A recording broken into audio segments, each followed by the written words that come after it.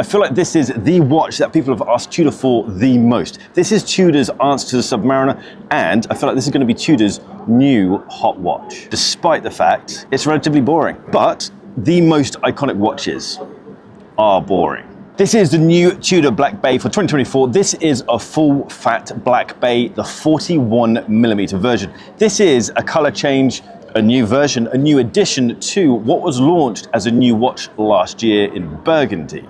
This has a new updated, more refined case, it's got the new movement, and it has the new T-Fit clasp. And the most important refinement of this is how thin the watch is. And the way they did it, it's pretty clever. The Black Bay is probably the most, no, not probably, it is the most important watch for Tudor. It's the watch that made Tudor become its own separate brand, separate it from its brother company, Rolex. The Black Bay is also an important watch for the whole industry as its value for money is completely unmatched. And I'll prove it by showing you the specs. The case is stainless steel, it's 41 millimeters wide, it's 13.6 millimeters thick, it has a lug to lug measurement of 50 millimeters. The lugs are 22 millimeters wide, it's got a screw down crown giving it 200 meters of water resistance. It's got a uni-directional dive bezel with an aluminium insert and it's got a domed sapphire crystal. That alone is a pretty compelling package, but the biggest impact that makes this watch massive value for money is the movement inside. This has a Tudor caliber MT5602 U, and I'll explain what the U means in just a second.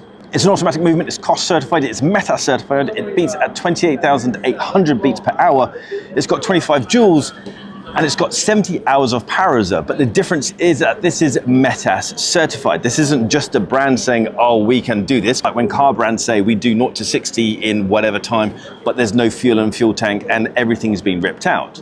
This power reserve has been certified by METAS. If you're not familiar with METAS certification, it's essentially COSC certification, but on steroids. They don't just test the accuracy, but they put it through stress testing, be it with magnetism, be it with temperature changes or shock changes, and the watch movement has to stay accurate within a certain parameter for all of those tests. Other companies charge double what Tudor are charging for this level of certification. When you see a Tudor watch movement or a watch model with U as a serial number, that U represents anti-magnetism.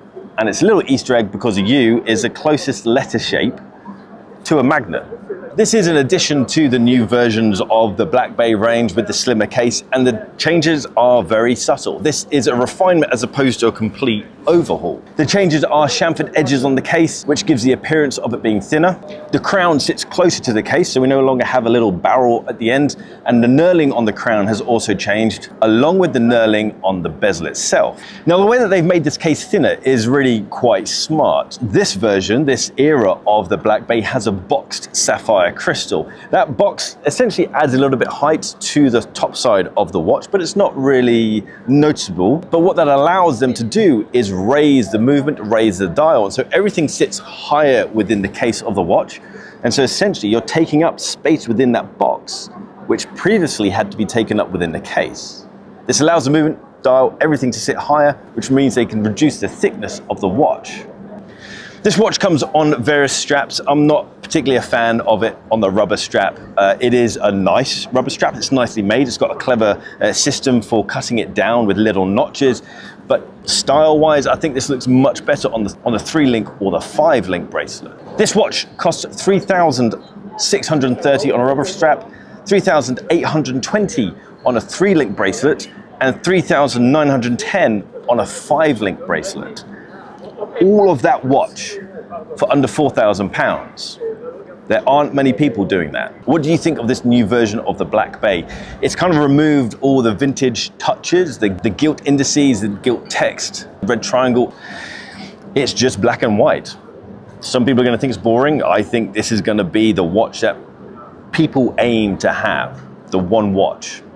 What are your thoughts? If you like this video, hit the thumbs up button. If you like the start of this video, hit the subscribe button down there and that little bell icon to get notifications when I drop a new video. We're going to be covering the whole new range from Tudor, so do subscribe so you don't miss out on that stuff. If you want to follow me on Instagram, give me a follow at BarkandJack, and if you want to check out our watch accessories, jump over to barkandjack.com. I'll probably see you later on today. Take care.